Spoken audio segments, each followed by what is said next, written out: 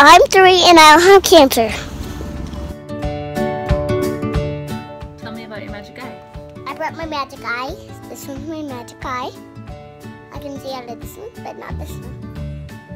That's how it looks. When this one falls out, I can't touch this one. I'm not gonna touch this one because this one likes me. When I'm gonna touch it. So started. There, I got my sucker, my big giant sucker. And it even has the shape of it. Red. Like